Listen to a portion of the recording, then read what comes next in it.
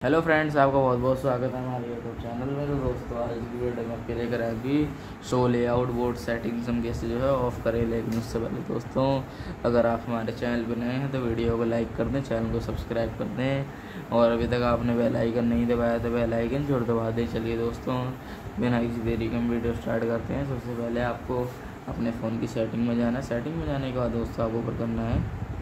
दिख रहा होगा सिस्टम सिस्टम पे क्लिक करें। क्लिक करने के बाद दोस्तों डेवलपर ऑप्शन पर क्लिक करें। आपको सबसे नीचे जाना है दोस्तों। आपको देखने को मिलेगा।